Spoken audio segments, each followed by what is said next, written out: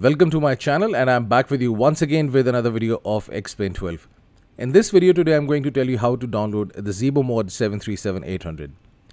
It is actually a modification of the default Boeing 737-800 which comes with this flight simulator. Uh, this uh, plane is also available in X-Plane 11 but after the early access of X-Plane 12 this plane is also available on X-Plane 12. So in this video I'm going to show you the link and uh, plus uh, the page from where you can download this plane and how to install this plane in X-Plane 12. So if you are new to the flight simulation, I will highly recommend using this plane because it's a very nice study level plane. Almost all the features are working because in the default 737-800 there are many things which are not working and plus the FMC is not actual FMC of the plane.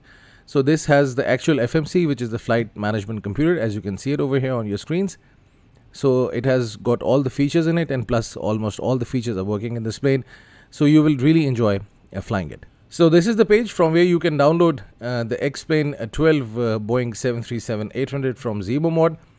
Uh, if you go down on this page, you will see Boeing 737-800X XP12 Early Access zip.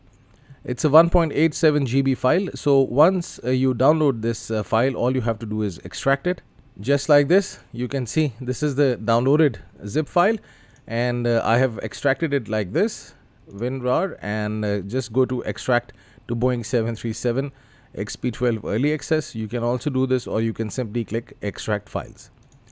So once extracted if you open this folder you will see the Boeing 737 800X uh, and this folder has got all the uh, files related to Boeing 737 800 Zibo mod all you have to do is this copy this uh, uh, folder and paste it in the aircraft folder of XP12. So here I am in the XP12 uh, aircraft folder.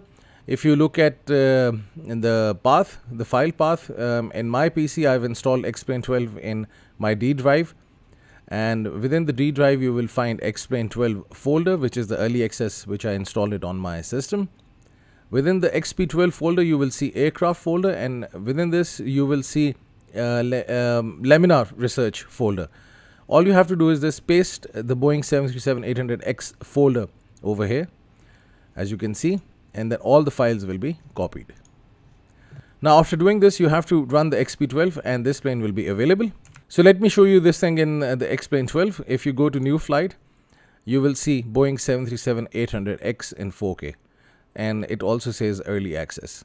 So this is available and um, I think that there are two planes with different wingtips. Uh, so you can just use this plane and fly it. I'm going to do a flight with this plane um, today because my weekend has just started and uh, hopefully I will do some flights with this plane and will, I will try to uh, experience the X-Plane 12. If you have got any questions, do ask me in the comment section. I will be more than happy to answer you. If there is a delay, kindly accept my Apologies in advance because I've got a busy schedule and at times I'm not able to answer the questions on time. And plus, for any feedback, the comment section is there. Hope to see you soon. Have a nice day.